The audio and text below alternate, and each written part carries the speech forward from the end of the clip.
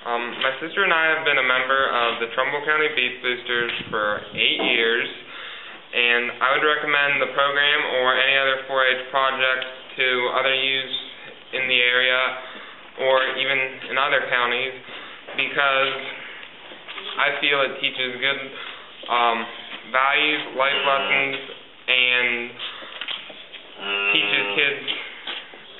ideals that have been lacking in previous generations that bring back in this gener that are brought back through 4-H.